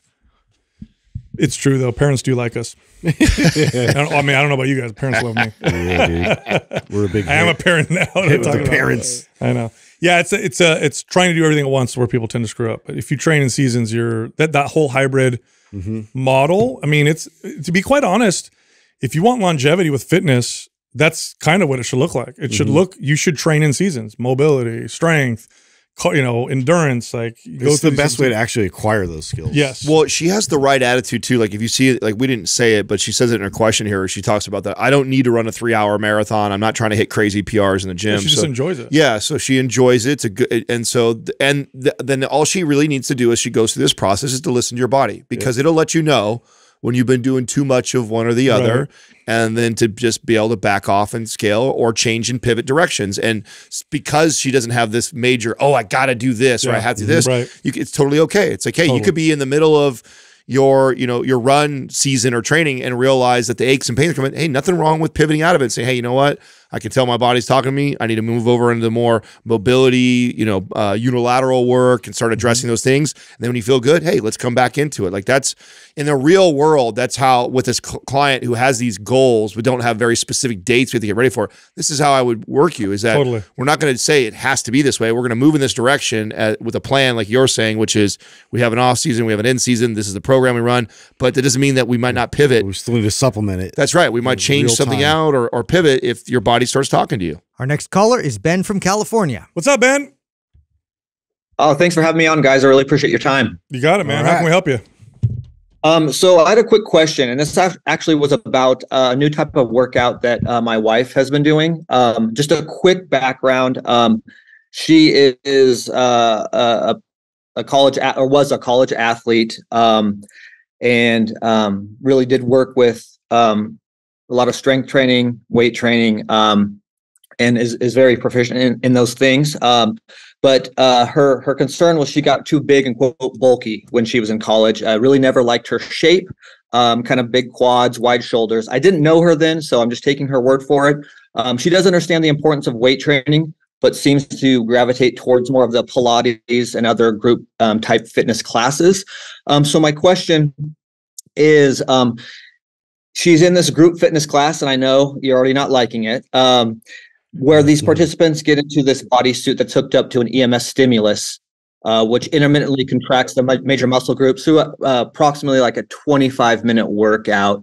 Uh, workout consists of mostly body weight exercises like squats, push-ups, lunges, etc., with some mixing in of bicep curls, shoulder presses. But these are with like five pound dumbbells. Um, so you're all, all all the while getting this EMS current, you know, every 10 seconds. That's it's contracting all the major muscle groups. So I'm not quite sure if this type of workout is actually building strength and muscle for her. Um, my question really is: Would having this outside source um, of EMS contractions um, elicit hypertrophy, um, or is it a waste of time? It's a waste of time. This is a gimmick. It's, it's a new gimmick right now. Have you seen? Have you seen all these now? Yes. It's it's go it's circulating again. Okay, right so now. so EMS been around for a long time. yeah, We've peop we've been we have lots of data on EMS. Uh, electro electronic muscle stimulation or electric muscle stimulation has benefits for reducing atrophy when people are um, immobile Yes. or through Injured. therapy, right? So you tore your knee, you can't do anything. You it's it's immobilized, so you could use EMS on the quads and hamstrings, and it'll reduce the amount of atrophy. But it's not an effective uh, muscle building tool. Now, in this class, this is very gimmicky, and nine out of ten times classes are gimmicky, and they, you'll see this all the time. They'll have drums that they do, or they'll hang from something, or they'll call it some weird thing, or they'll combine two fads like Pilates and yoga, PiYo, or strength training and Pilates. You know, Have you and- seen those spring shoes that yeah, they're using now? very gimmicky. Yeah. So what the EMS is doing is it's just making the workout feel harder. Yeah. So as you're moving, it's contracting muscles that either oppose the movement or go with the movement to make you feel like, oh my god, I'm squeezing really hard.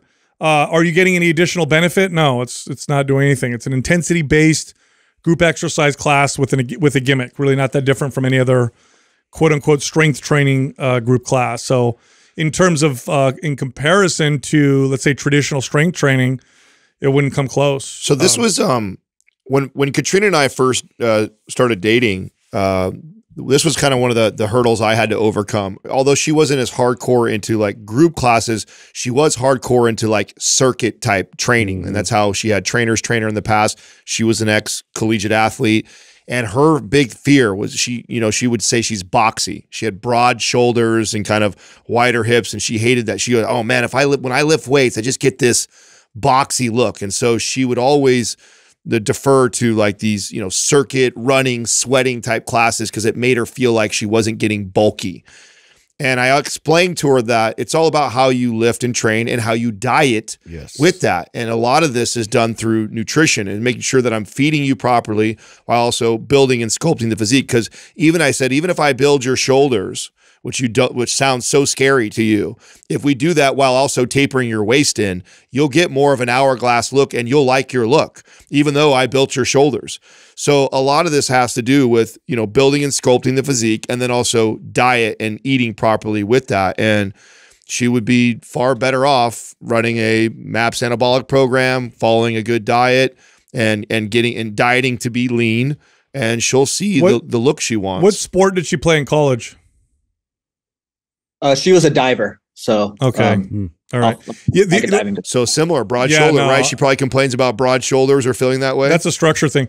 I, you know, the only time I've ever worked with somebody, a female, where I saw that this was like a thing, was a shot putter, and and and that's just a, that's like a whole nother level of genetic development. That she, I mean, she was built a particular way, but uh, yeah, if if your wife strength trained appropriately, sculpted her body in ways that you know she wanted, focus more here, less here, and then worked with her diet, she'd get she'd get what she thinks she's going to get out of these crappy classes. She'd get the body she thinks she's going to get out of doing these classes. What I'm trying to say. Okay, and so that, that was my follow up question. You would recommend, say, like a MAPS anabolic program for her. She's she's she'll be 42 next week, but she's still very very active. Um, is that the route you'd take? Yeah, Yeah. I'd, I'd start her there, and then I'd actually like uh, Katrina loved aesthetic. She felt that she got a lot of that from aesthetic Yeah, because she get, a big fan of that. yeah. So 'cause especially she because she's trying to sculpt her body to look a certain way, and she's a, a- was concerned about it looking boxy and so I ran her on anabolic first and dieted her properly through it, and then I went into aesthetic afterwards, and she, she she loved the results from aesthetic. Okay. You Well, thank have- you guys. I really appreciate your time. Did I see you have? Do you have uh, anabolic already? Yeah, I actually have both programs, so I think I'm Oh. all set. Okay. Oh, you're good, man. Right on, dude. Yeah. Keep us keep us posted, Ben. Yeah. Good luck. All right. Thank, thank you so much, guys. All right. Appreciate Thank your you. time. Yeah. Bye. Let me ask you guys a question. Um, what percentage of the time when a woman would come to you and say, "Man, when I lift weights, I get bulky." What percentage of the time was it the weights? Was it actually the weight training that did that? It never is. It diet. No, it's yeah. never. It's never that. Never. It's hard to. So you know. I mean, it's so like I saw a picture of um, what's his name, the wrestler that went to the W. That was WWE, went to the UFC, big, jack, huge. Uh, Brock Lesnar? Okay, his daughter. I just saw a picture of her. Yeah, that would be the case where I'd be like, okay, I believe you. Yeah. I don't know if you guys see a picture of her. Yeah, she looks yeah. like Brock Lesnar with long yeah, hair. Yeah, yeah. No, ninety nine point nine nine nine percent of women just that's not the problem. The problem is diet, and what you're what you're attributing to the weight training is not has nothing to do with you building tons of muscle. That's not what's happening. Yeah, Katrina was um she was eating a lot of foods that uh Yeah. that she was intolerant to. She didn't know. She was so she was constantly in a state of inflammation. Mhm. So Yeah. she was a lot always of bloat. That yep, a lot, too. a lot of bloat, a lot of extra water, and then you added weight training to that, and it would just make her feel bigger and wider. And there was nothing that I, I could originally do to convince her. That's why I had to let her come to me. Right, it took years of, of dating before she finally okay. Tell me what you do. I say, okay, we're gonna lift like that. You're gonna lift heavy, like I'm trying to bulk you up. But then I want you to eat this way, and we're gonna cut out these foods, cut out these foods, hit your protein intake, and then it only took about 30 to 60 days of her seeing like the body start to shape Yep. up, and she realized He's gonna have a hard time pitching this to his wife. I know, dude. I know, it's feel tough for him. I mean, it, I imagine it's hard for us, and yes, we're, that's what I mean. We're like professionally doing Like, it. I got a top ranked podcast, honey. Yeah. I mean, ho- hopefully she'll at least listen to this conversation, and and just like I told Katrina, I don't need very much time. Just trust me, and the, and the diet will be huge. So I- I'm going to tell you, like, I don't obviously I don't know her, but if that that very well could be adding to the problem because I do know that you add weight training to somebody who's also eating an inflammatory diet. Yep. Yeah. And it will feel like it's bulking Yeah, you, you up. feel- yeah. yeah. But if you eat a, a, the diet right and you're tight and you will tighten up, That's right. that waist will come in. And even if the shoulders broaden, this is what I had to tell Katrina, like even if I build an extra inch on your shoulders, Which you're not going to do. you but- yeah, but you will taper your waist in. It's going to give you the hourglass look that I know you want. So just trust the process. And of course it did. Our next caller is Becky from the UK. Hi, Becky. How you doing, Becky? How can we help you? Hi guys, Good morning. so nice to see you. Yes. Thank too. you. How can we help you? Well, um, actually, do you know what? I I emailed in on Sunday, and um, I was really surprised to get a message back yesterday to say, "Would you like to come on the podcast?" So super quick. I was impressed. Awesome. Thank you.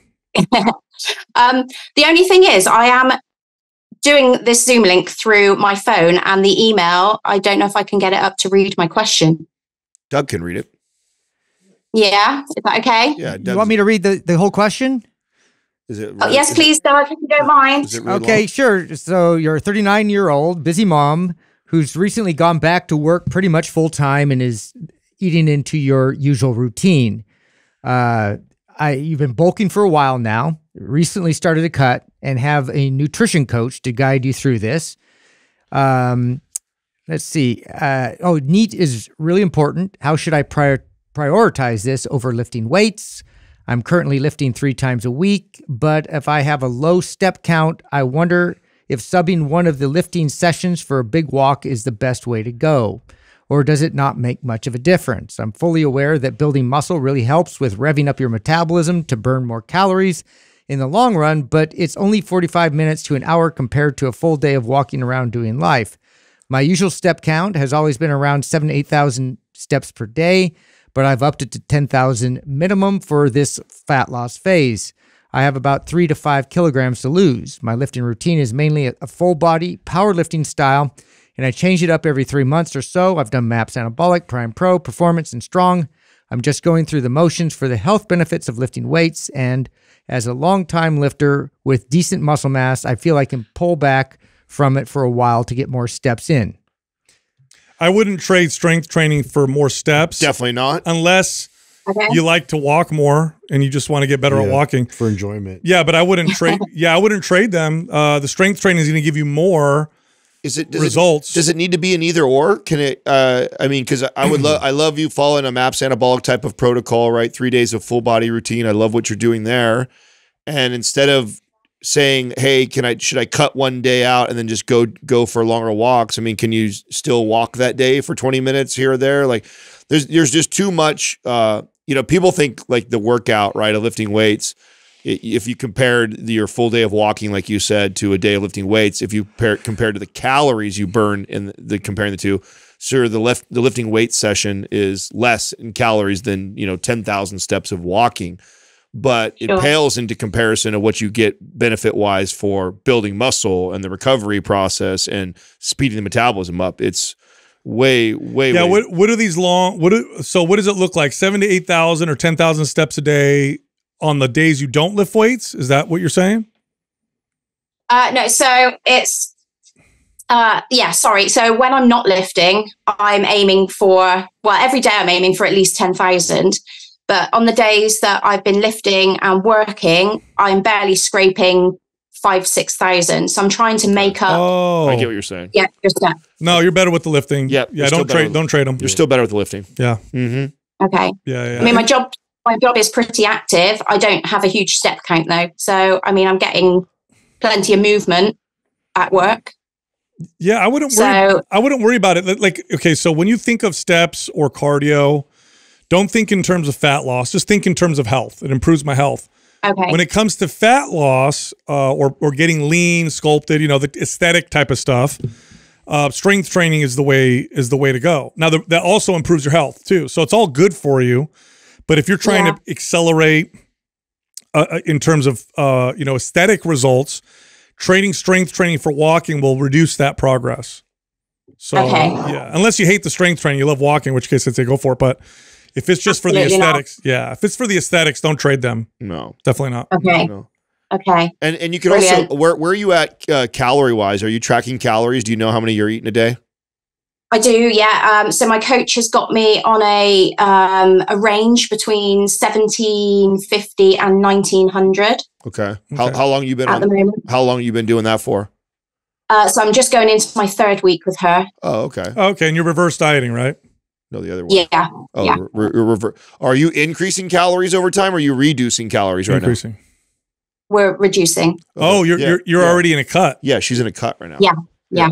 But she's only been doing that for three weeks, and she's only got would you say three to three to five kilograms, something like that. To Sounds go? like seven, eight pounds. Seven, yeah, yeah, seven, pounds. yeah, yeah. You're not. You're not. Yeah, you're not, not. a huge amount, but I'm not. I'm not losing for uh, aesthetic purposes. I've got some um, some pull up and push up goals in mind for the end of the year, and I figure being a bit lighter might help with that. Yeah. Yeah, do will you- for sure. Do you have um a, a, a bike, a treadmill, stair, anything like that uh, access to? But at your Uh, house? so a bike over here and a treadmill over here. Okay, so uh, you know, you're close enough to your goal, right? Of like seven, when I'm at the last like five to ten pounds to drop, uh, post workout, uh, twelve minutes of of HIIT cardio afterwards. Okay, perfect. Yeah, that'll that. Now, I I would only do that when I start to see the progress stall from the calories, right? So I always want to manipulate calories first. So if I feel like, oh, I'm leaning out, and then then what you'll see is when you're at that calorie intake, your progress will start to stall. Yeah. And then I have two options. I can either create more movement and calorie burn, which would be the HIIT cardio, or I can reduce calories. When I get a client who's starting to get close to that 1500 calorie for a female range, that's about as low as I ever really want to push somebody. So in this case, I would probably go, okay, let's add, you know, a day or two of 12 minute of HIIT cardio post workout and see what that does. Okay. Yeah, That should help. that sounds good. That should help accelerate. Yeah, some good. of I like your goals, by the way. I like the, the, the way that you've positioned your goals, and I like the way you train. I think you're doing the right the mm-hmm. right the right way. For yeah, sure. yeah. You're and you're right there. You're right there. Thanks. I've been listening to you guys for a few years now, so you guys have definitely helped me um, navigate the best way, the most healthy way to get to my goals. So thank you. That's awesome. And then you said you have an active job, but you don't do a lot of steps. What, what kind? Do you mind if I ask what kind of work you do? Sure. Um, I'm a painter and decorator. Oh. Uh, that I've got two jobs actually. So I, I decorate Tuesday, Wednesday, Thursday, and then I PT Monday and Tuesday. Uh, Oh. Sorry, Monday and Friday. Monday yeah, and you got yeah. Your your activity's good. Yeah. your activity's fine. yeah. Mm-hmm. Yeah, totally. No, you're, you're yeah. You're, you're on your right. You're on the right track for sure. Yep. Okay. Cool. Thank you. You Right got on, it. Thanks right for you know when joining, you're Becky. out and about and you're you're thinking all these things and they just go through your head and I thought I know I'm going to ask the mind pump guys. Yeah, yeah, Yeah. No, you're doing great. Thank you so much. Stay the course. Thank you. All right, You Becky. it. All right, cheers guys. Bye bye. Yeah, for for just for people listening, when it comes to fat loss, so long as it's appropriate. Okay, so that's the context here. Trading strength training for cardio is not a more effective way No, no, to no, burn body fat. definitely not. It's a less mm-hmm. effective way to burn. In fact, I typically would take people and do the opposite when people would hire me, as I'd look at their routine and say, "Oh, we're going to take some of that cardio out and Yeah.